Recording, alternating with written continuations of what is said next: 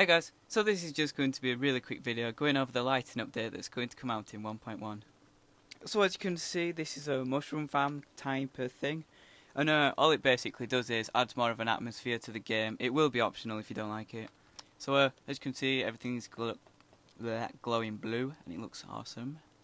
Also, if you look, there's that fairy thing and it's an orb of light and it's got wings on it.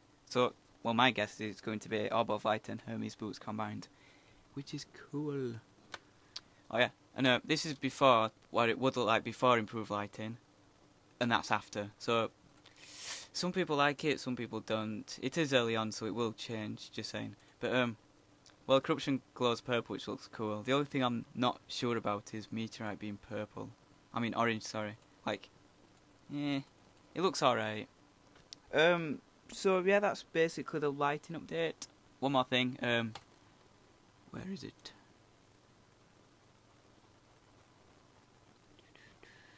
Yeah, uh, Red said that he will be adding gem plus torch recipes to make coloured lights. So yeah, whoops.